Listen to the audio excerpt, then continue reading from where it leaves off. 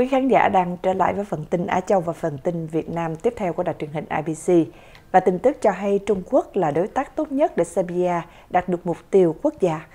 Tổng thống Serbia Aleksandar Vučić đã cho biết trong một cuộc phỏng vấn trước chuyến thăm cấp nhà nước sắp tới của Chủ tịch Trung Quốc Tập Cận Bình, rằng Trung Quốc là đối tác tốt nhất có thể để Serbia đạt được các mục tiêu quốc gia của mình.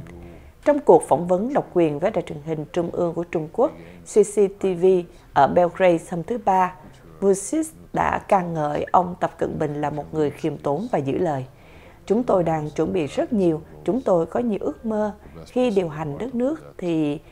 chúng ta có mục tiêu lớn, những ước mơ cao cả và chúng ta cần phải luôn đặt ra những mục tiêu mới của mình. Và nếu chúng ta có thể đạt được những mục tiêu mới này, những mục tiêu mới, những mục tiêu mới, đối tác tốt nhất có thể cho điều đó luôn là sẽ luôn là Cộng hòa Nhân dân Trung Hoa.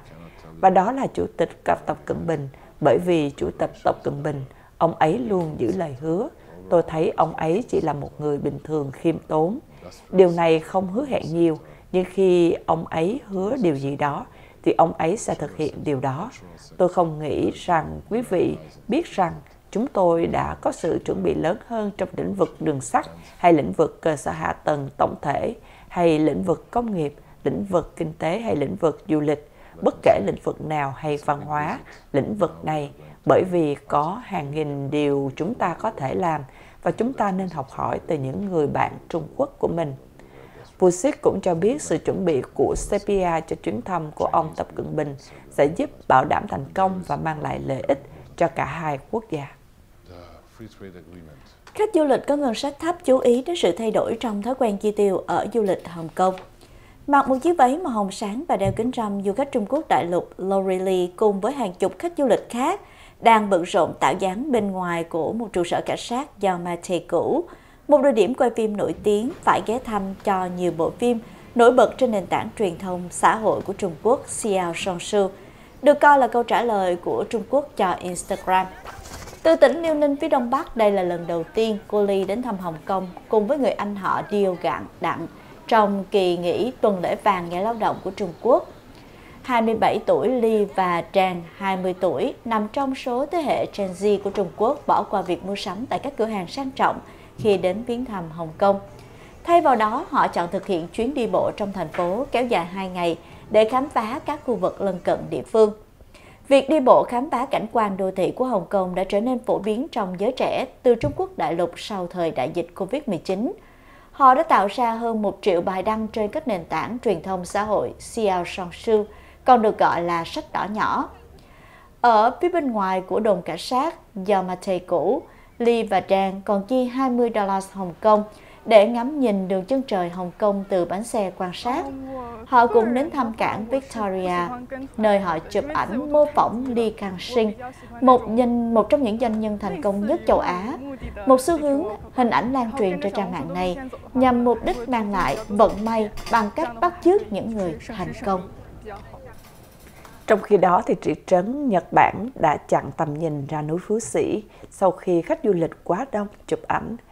các quan chức địa phương tại một thị trấn ở Nhật Bản đang dựng rào chắn để chặn tầm nhìn ra núi Phú Sĩ mang tính biểu tượng nhằm đối phó với vấn đề khách du lịch quá đông và có những hành vi sai trái tại một địa điểm chụp ảnh lan truyền đối diện một cửa hàng tiện lợi. Du khách đã đổ xô đến thị trấn Fukawakuchiko, cách Tokyo khoảng 50 km,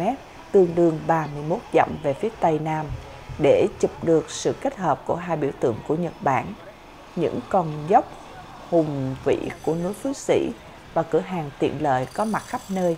Đám đông đã dẫn đến khiếu nại về việc xả rác và đổ xe trái phép. Các quan chức cũng đã bắt đầu xây dựng một hàng rào màu đen cao tới 2.5 mét, tương đương 8.2 feet, rộng khoảng 20 mét, dự kiến hoàn thành vào giữa tháng này. Rào chắn được dựng đối diện với một cửa hàng tiện lợi Lawson là dấu hiệu mới nhất cho thấy Nhật Bản đang nỗ lực đáp ứng với lượng khách du lịch tăng vọt chưa từng có trong bối cảnh đồng tiền quốc gia sụt giảm xuống mức thấp nhất trong vòng 34 năm. Tiếp nối là những bản tin liên quan đến Việt Nam. Việt Nam tiến đến mua pháo tự hành K9, sắm xét hiện đại, ưu việt của Nam Hàn. Việt Nam báo hiệu cho việc đang lên kế hoạch mua pháo tự hành hàng hòa K9 của Nam Hàn cho quân đội.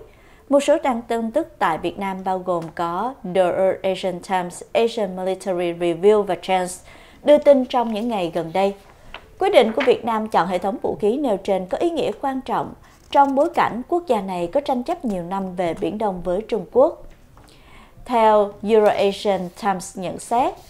Asian Military Review và Trends cũng dẫn tuyên bố của Bộ Quốc phòng Nam Hàn cho biết, Thứ trưởng Quốc phòng Việt Nam Hoàng Xuân Chiến bày tỏ ý định mua pháo kỳ chính tại đối thoại chính sách đối vòng của Việt Nam và Nam Hàn lần thứ 11 ở Hà Nội vào hôm ngày 23 tháng 4 vừa qua.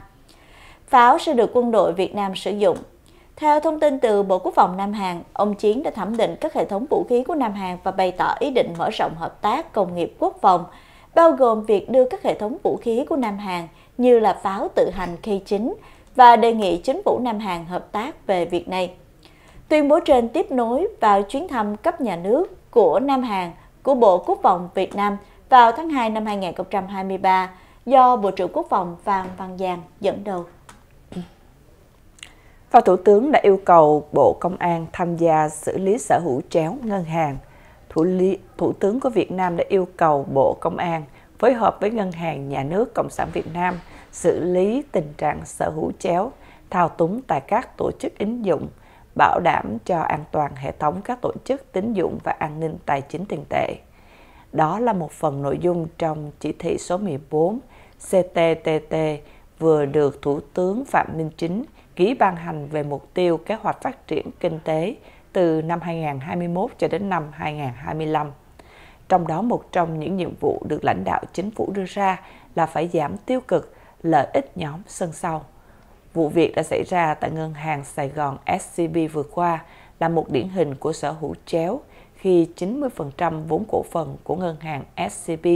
thuộc sở hữu của nhóm bà Trương Mỹ Lan, chủ tịch của Hội đồng Quản trị Công ty Cổ phần Tập đoàn Vạn Thịnh Phát, khiến ngân hàng này bị chi phối, gây thiệt hại với tất cả thị trường tài chính và nền kinh tế.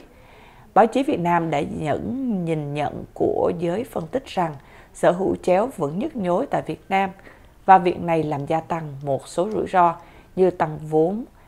ảo qua việc đi vay để đầu tư, góp vốn lẫn nhau trực tiếp hoặc gián tiếp thông qua công ty con và cháu, hoặc một hệ lụy khác là rủi ro thâu tóm, chi phối của nhóm cổ đông lớn và người có liên quan. Và một lần nữa đến đây, chương trình tin tức tổng hợp ngày Chủ nhật xin tạm dừng trong giây lát để gửi đến quý vị phần bảo trợ thương mại. Rất cảm ơn quý vị vẫn tiếp tục đồng hành với các channel của đài truyền IBC TV để đến với phần 4 phần tử vi cuối tuần.